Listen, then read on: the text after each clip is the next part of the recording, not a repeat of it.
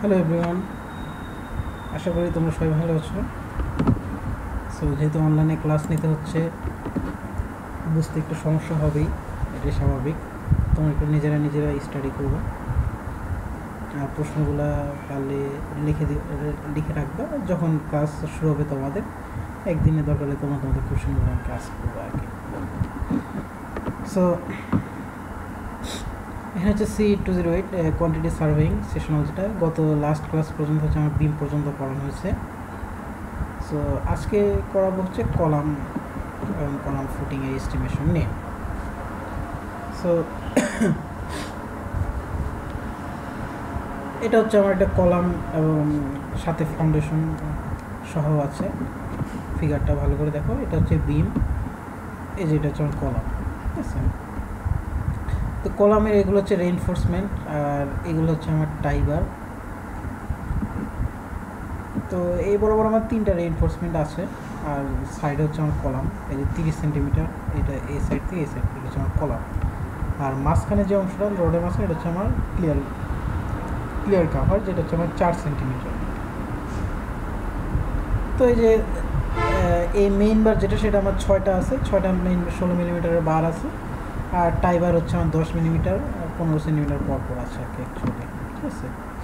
এটা হচ্ছে আমার প্লিন্থ লেভেল এই পর্যন্ত, আর প্লিন্থ লেভেল থেকে পঁয়তাল্লিশ সেন্টিমিটার নিচে হচ্ছে আমার গ্রাউন্ড লেভেল আর গ্রাউন্ড লেভেলের নিচে হচ্ছে আমার এই ফুটিংয়ের এই অংশটা আর কি অ্যাকচুয়ালি ঠিক আছে?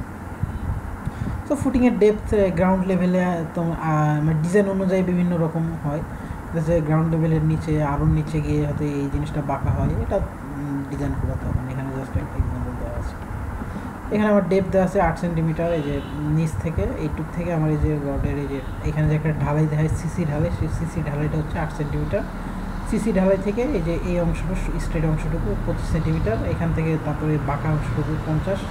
এখানে লেন্থ দেওয়া দেওয়া আছে আর কি হাইট এই যে রড দেওয়া আছে বারো মিলিমিটার ডায়া বা পনেরো মিলি সেন্টার টু সেন্টার তারপরে যে কনক্রিটের রেশিও দেওয়া আছে।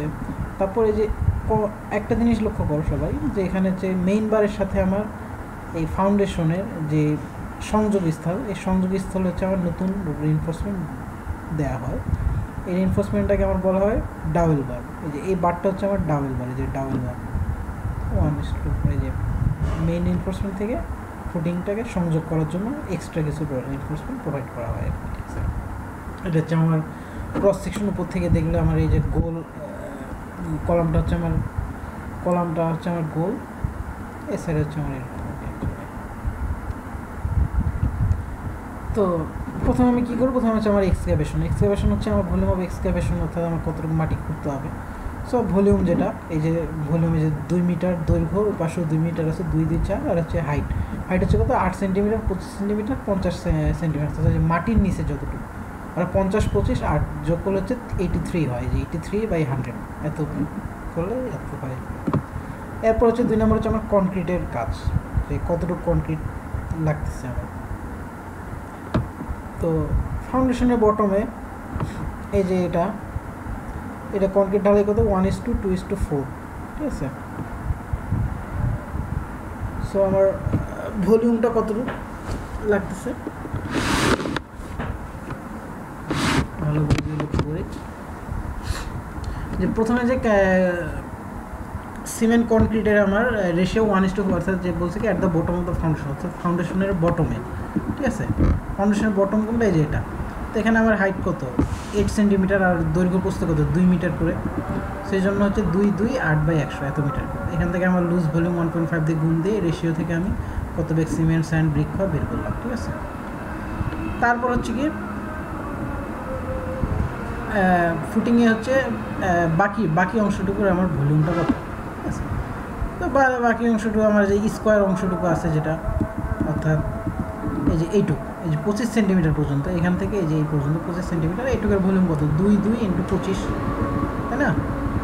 এই দুই দুই পয়েন্ট টু ফাইভ এত মিটার এরপর আমার যে অংশটা আছে, সেটা হচ্ছে আমার এই যে, এখান থেকে এই যে এইটুকু। প্রিজ মডেল প্রিজমের মতো দেখতে এটা এই অংশটা। তো এই অংশটা আমরা সার্ভিংয়ে করছিলাম পিস মডেল রুল অনুযায়ী। তো এটা যদি টপ এরিয়া হয়, এটা যদি বটম এরিয়া হয়, আর মাঝখানটা হচ্ছে মিডিল এরিয়া তিনটে এরিয়া আমার বের করে অ্যাভারেজে বের করে একটা সূত্রতে বসালে বের হয়ে। যে এ টপ টপের হচ্ছে পঁয়ত্রিশ সেন্টিমিটার ওখানে দেয়া আছে মান, আর বটমটা হচ্ছে দুই দুই দুই করেছিল মিডিলটা কত? দুই এবং পঁয়ত্রিশ যোগ করে অ্যাভারেজ করে যা হয় তা আর কি। সূত্রটা হচ্ছে কি A A top plus A bottom plus four into A medium A middle by six into হচ্ছে হাইট হাইট হচ্ছে এইচ হাইট কোনটা?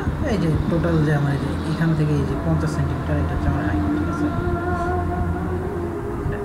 তো বের করলে পিস মডেল অংশের অংশের ভলিউম বের হবে আমার কত? এই point eight zero four metre cube total volume হচ্ছে এত। আর গ্রাউন্ড লেভেলের উপরে আমার হচ্ছে ভলিউম হচ্ছে এটা। এই যে গ্রাউন্ড লেভেলের উপরে একটা স্কোয়ার পোর্শন আছে না আমার? এই যে এই যে এখান থেকে প্রিন্ট লেভেল পর্যন্ত এই যে একটা স্কোয়ার পোর্শন আছে, এটা। এটা আমার হচ্ছে কতটুকু? দেওয়া আছে যে পঁয়ত্রিশ সেন্টিমিটার, ঠিক আছে? পঁয়ত্রিশ পঁয়ত্রিশ আর হাইট পঁয়তাল্লিশ যা হয়। আর এর উপরে আমার যে অংশটা আছে, কলাম, এটা হচ্ছে আমার সার্কুলার সার্কুলার ডায়া কত? তিরিশ সেন্টিমিটার, ঠিক আছে? এই যে, এরপর হচ্ছে আমার যে circular pi by four D square into হচ্ছে লেন্থ যেটা হাইট যেটা থ্রি পয়েন্ট থ্রি এত মিটার বের হচ্ছে, ঠিক আছে? ভলিউম তো ভলিউম বের করার পর সব ভলিউমটা আমার যোগ টোগ করে এই যে যত ভলিউম আছে, এই যে টোটাল ভলিউম, এই যে এটা এটা টোটাল ভলিউমটা আমার যোগ করে যা হয়, এই যে আগের যে ভলিউম যে one point eight zero three four আর এই যে এটা এটা যোগ করে আমার এত মিটার কিউব হয়। এখান থেকে আমি রেশিও অনুযায়ী সিমেন্ট স্যান্ড ব্রিক আমি বের করতে পারি, ঠিক আছে? এরপর হচ্ছে আমার স্টিল রেইনফোর্সমেন্ট তো ফিগারে দেওয়া আছে ফুটিংয়ে আমার রেইনফোর্সমেন্ট দেওয়া আছে বারো মিলিমিটার বার কত? পনেরো মিটার সেন্টার টু সেন্টার ঠিক আছে? সো আমার ওয়েট আমরা জানি যে D square by one sixty two বা বারো মিলিমিটার বার যদি হয়, তাহলে তার ওয়েট কত? এত কেজি পার মিটার অ্যান্ড কতবার বার বারের সূত্র হচ্ছে কি? টোটাল প্রস্ত প্রস্ত থেকে আমার দুইটা ক্লিয়ার কভার বাদ দিতে হবে আর স্পেসিং দিয়ে ভাগ দিতে হবে, যোগ ওয়ান অর্থাৎ আমার এই বরাবর কতগুলো রেনফোর্সমেন্ট আছে? এই টোটাল লেন্থটাকে আমার লেন্থ থেকে এই দুই মিটার থেকে আমার দুই পাশে ক্লিয়ার কভার বাদ দিতে হবে, দিয়ে তারপরে যে স্পেসিংটা ভাগ দিতে হবে। দিয়ে যা হয় সেটার সাথে আমার এক যোগ করতে হবে আর কি।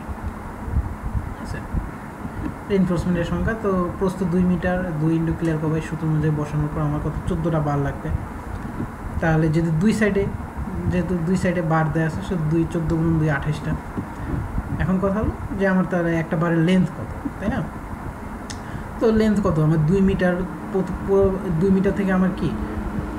এই বলি লেন্থটা কত? এই যে টোটাল হচ্ছে দুই মিটার দুই মিটার থেকে দুটো ক্লিয়ার কভার বাদ দিব, বাদ দিয়ে কি? হুক লেন্থ যোগ করব, তাই না? দুই পাশে?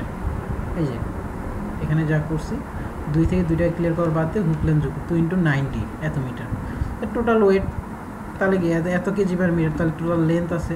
একটা বারের length two point one four four metre তাহলে আঠাশটা বারের লেন্থ কত? আঠাশ ইন্টু টু এত কেজি, ঠিক আছে?